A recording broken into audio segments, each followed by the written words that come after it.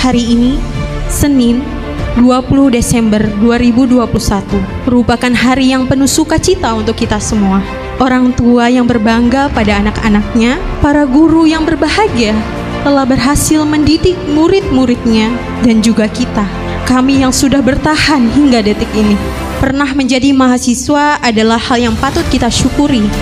Sebuah keistimewaan yang tidak semua pemuda diberkahi kesempatan itu.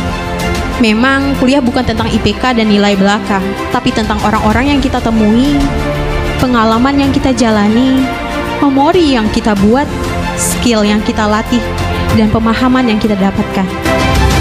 Ketika mimpi kita pikirkan, mimpi berubah bentuk jadi rencana.